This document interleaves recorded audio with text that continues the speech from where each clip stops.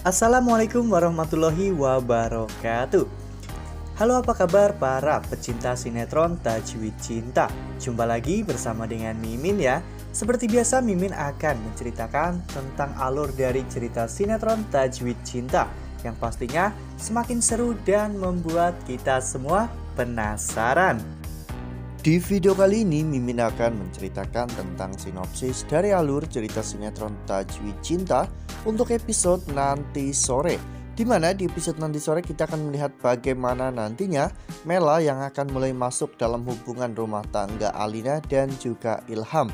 Sementara itu di sisi lain, Shiva dan juga Dafri justru malah semakin romantis di mana ketika Dafri mengajak Shiva untuk membeli bakso, ternyata Dafri membuatkan bakso spesial untuk Shiva ya kawan-kawan. Nah, kira-kira bagaimanakah kisah selengkapnya? Tonton video ini sampai dengan selesai ya.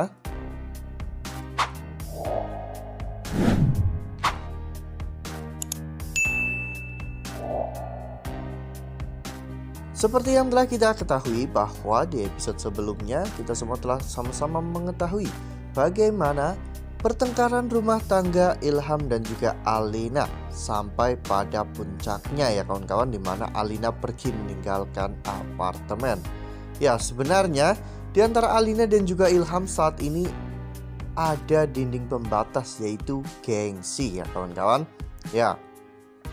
Hal itu terbukti ketika Ilham pulang ke apartemen setelah melihat ke mana Alina pergi Ilham sebenarnya menunggu telepon atau pesan dari Alina. Namun Alina tidak mengirimkan pesan ataupun bahkan menelpon Ilham sama sekali.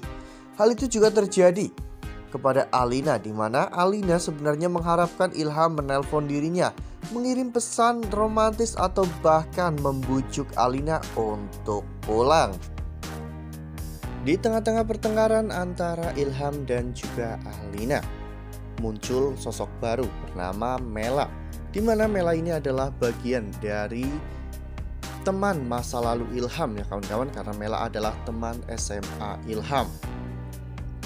Di sini Ilham terlihat sangat antusias ya kawan-kawan untuk kembali mengenal Mela karena memang di sisi lain Ilham sedang suntuk ya kawan-kawan dengan hubungan rumah tangganya dengan Alina dan kini ada seseorang yang bahkan sama cantiknya atau bahkan menurut Ilham jauh lebih cantik sedang mendekati dirinya.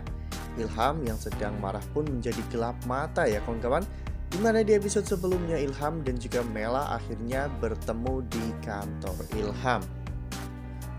Tak hanya bertemu di kantor Ilham Ilham dan juga Mela nampaknya semakin intens untuk bertemu ya kawan-kawan Ya seperti yang kita lihat pada foto ini di mana saat itu Ilham sedang menunggu Mela untuk bertemu di sebuah kafe dan pada saat Mela datang, Ilham terlihat sangat bahagia.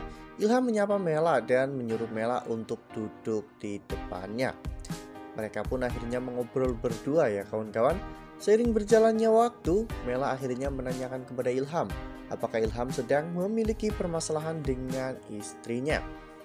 Saat itu Ilham mengatakan iya ya kawan-kawan Ilham pun mencurhatkan semuanya kepada Mela tentang permasalahan yang terjadi kepada dirinya. Mela pun mengambil kesempatan ini untuk mendapatkan hati Ilham ya kawan-kawan apalagi ketika Mela mengetahui bahwa Alina tidak bisa memberikan anak untuk Ilham.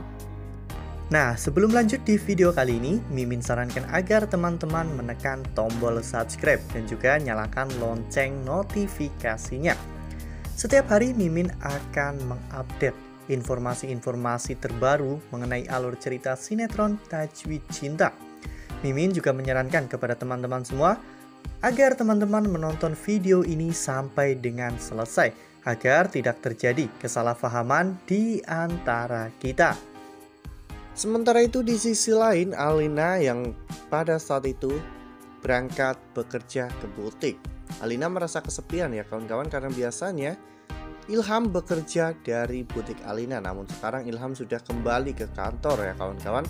Sepertinya memang hubungan rumah tangga Alina dan juga Ilham ini akan menemui jalan buntu di mana Jika di antara mereka masing-masing tidak mau menurunkan egonya, maka hubungan mereka bisa saja berakhir. Padahal mereka baru saja melakukan ikrar ijab kabul ulang ya kawan-kawan. Seharusnya Alina memang menurunkan egonya untuk mendengarkan Ilham dan seharusnya Ilham juga tidak mengejudge Alina ya kawan-kawan di mana Ilham selalu berprasangka buruk tentang Alina dan juga Dafri karena memang pikiran Ilham sudah tercemar oleh rasa cemburu ya bahkan cemburu Ilham pun seperti tidak beralasan ya kawan-kawan karena terlihat dengan jelas bahwa itu adalah cemburu buta Sementara Ilham dan juga Alina masih berkelit dengan permasalahan orang ketiga. Di sisi lain, Shiva dan juga Dafri justru malah semakin terlihat manis, romantis, dan juga harmonis ya kawan-kawan. Ya, seperti yang kita ketahui bahwa beberapa episode terakhir, Dafri dan juga Shiva memang selalu tampil romantis ya kawan-kawan. Mungkin sampai dengan pada episode terakhir nanti, Shiva dan juga Dafri akan semakin terlihat romantis. Ya, seperti yang kita lihat pada foto ini di mana pada saat itu Dafri mengajak Shiva untuk membeli bakso ya kawan-kawan karena memang Shiva sangat menyukai bakso. Namun ada sebuah kejutan yang membuat para penonton tentunya akan semakin larut dalam ceritanya atau semakin baper ya kawan-kawan. Saat itu ketika Dafri memesan dua mangkuk bakso, tiba-tiba Dafri mempunyai ide untuk memberikan bakso yang spesial untuk Shiva. Saat itu akhirnya Dafri meminta izin kepada penjual bakso itu agar Dafri bisa meracik baksonya sendiri ya kawan-kawan karena Dafri ingin memberikan bakso yang spesial. Ya, Siva hanya bisa tersenyum dan tertawa ya kawan-kawan melihat tingkah konyol Dafri. Ya, jika mungkin untuk urusan pekerjaan kantor atau melukis, Siva mungkin mengandalkan Dafri dan mengakui kehebatan Dafri, tapi ini untuk meracik semangkuk bakso yang tentunya membuat Siva menjadi tertawa. Wah wah wah episode-episode terakhir sinetron Tajwi Cinta makin bagus ya kawan-kawan Makin keren dan makin membuat para penonton terbawa perasaan Nah Makanya nih jangan sampai kelewatan untuk terus saksikan sinetron Tajwid Cinta episode-episode terakhir yang akan tayang setiap hari pukul 16.45 hanya di SCTV.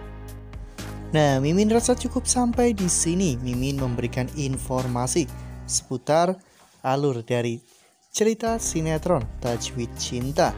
Terima kasih untuk teman-teman semua yang sudah menonton video ini sampai dengan selesai. Ambil sisi positifnya dan tinggalkan sisi negatifnya karena cerita ini hanyalah 50 belaka. Wassalamualaikum warahmatullahi wabarakatuh.